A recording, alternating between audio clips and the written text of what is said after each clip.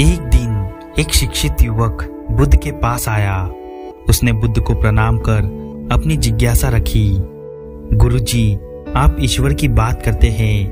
क्या आपने ईश्वर के दर्शन किए हैं? जो आप साधिकार इस विषय पर इतना कुछ कह पाते हैं। बुद्ध ने कुछ नहीं कहा और स्नेहपूर्वक उसके सिर पर हाथ फेर दिया। युवक ने समझा कि बुद्ध के पास मेरे प्रश्न का उत्तर नहीं है। फिर उन्होंने कहा, आओ, हम कुछ देर यहाँ के बगीचे में घूमे। बगीचे में गुलाब और रजनीगंधा के सुगंधित फूल लगे थे। युवक बोला, इन फूलों की सुगंध से सारा वातावरण महक रहा है। बुद्ध ने कहा, वत्स, तुम ठीक कहते हो, किंतु एक बात बताओ कि यह सुगंध तुम्हें दिखाई दे रही है। युवक बोला जी नहीं।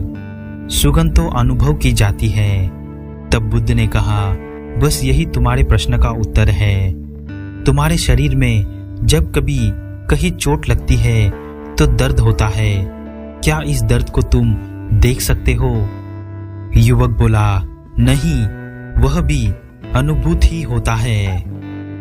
बुद्ध ने अंतिम रूप से युवक का समाधान करते हुए कहा आत्मा और परमात्मा के साथ भी यही बात है।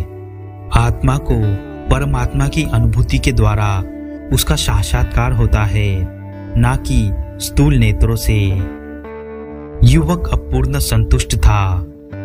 बुद्ध का आभार मानते हुए वह चला गया। इस कहानी का मॉरल यह है कि परमात्मा सदैव अनुभूति के स्तर पर ही घटता है और यह घटना तब होती है जब मन पूर्णत संभाव को प्राप्त हो चुका हो।